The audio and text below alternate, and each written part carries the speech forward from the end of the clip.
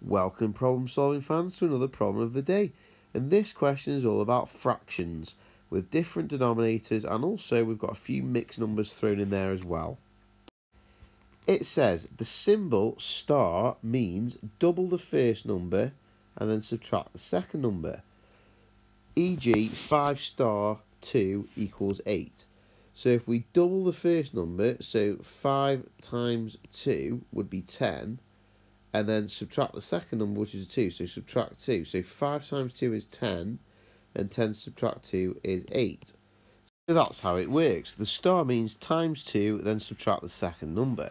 So let's write this onto the fraction questions. So the first one is going to be times 2, and then take away the second number, which is 3 tenths. Times 2, take away 3 tenths. On the second one, it's going to be times 2 and take away, well, something because we don't know what that missing number is. So we'll put a question mark. And on the third one, it's going to be times 2 take away a half and times 2 take away 3 and 2 fifths. Now let's go back and start working them out. Well, 2 fifths times 2 would be 4 fifths, and 4 fifths take away 3 tenths. Well, we'd first of all have to change the 4 fifths into tenths. So double both numbers, double the 4 and double the 5, you would get 8 tenths, and that obviously is an equivalent fraction. And then we've got to take away this 3 tenths here, so 8 tenths take away 3 tenths would be 5 tenths. So the final answer to the first one is 5 tenths or a half, because obviously 5 is a half of 10. Now on the second one, let's see what happens. Well, we start the question with 2. 2 times 2 is 4, and then we've got to take away something in this missing box here so that we're left with 2 and a quarter. Well, if you take away one whole one, 4 take away 1 would be 3, but we need to get down from 3 down to 2 and a quarter.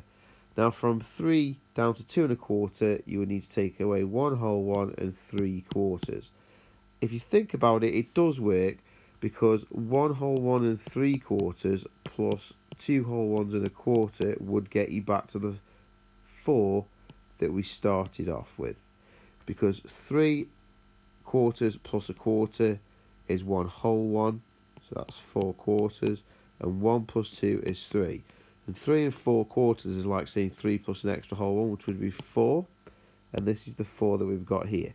So the missing number for the second one is 1 whole 1 and 3 quarters. Now this last one is a bit trickier still. We've got 3 quarters times 2. Well, 3 oranges times 2 would be 6 oranges. 3 apples times 2 would be 6 apples. So 3 quarters times 2 would be 6 quarters. And now we've got to take away the second number. Well, take away a half. Well, seeing as we've got six quarters, we really need the half in quarters as well. Well, to get a half into quarters, you need to double both numbers. So double the 1 would be 2, and double the 2 would be 4, and that would be equivalent fraction in quarters. So a half is 2 quarters. So we need to take away 2 quarters. Now, if you work that out, 6 quarters take away 2 quarters would be 4 quarters. And 4 quarters is a whole one. So to cut a long story short, this first bracket here basically simplifies to be a whole one. So we'll just replace that whole bracket with 1 underneath.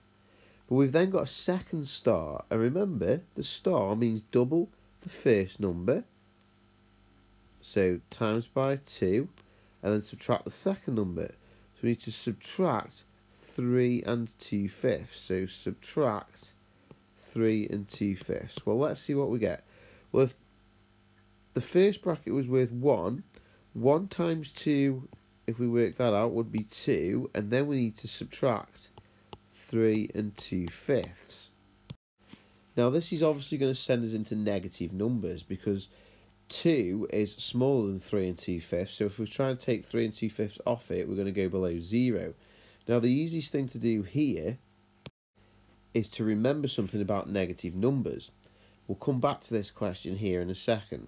Now remember, if 8 take away 3 is 5, if you switch that round, 3 take away 8 is going to be minus 5.